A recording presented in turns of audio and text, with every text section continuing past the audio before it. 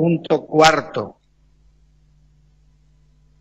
Se trata del dictamen de la Comisión de Desarrollo Forestal, Agropecuario y de Cooperativas en el proyecto de ley de los diputados Lindemann, mandato cumplido, y Rodríguez, Liliana Mabel y Rodríguez Juan Marcelo, mandato cumplido, adhiriendo a la provincia de Misiones a la Ley Nacional número 27.231, creando el Registro Provincial de Establecimientos de Acuicultura. Los expedientes son el D 45.440 del 2016 y el D 52.507 del 2019, dictamen que se encuentra suscrito por los diputados Bandera, Barreto, Bragañolo, Centeno, Duarte, Franco, González Gustavo, Mudri, Olson, Páez, Pereira Piger, Peterson, Revinsky, Rodríguez, Romero y Rumlin.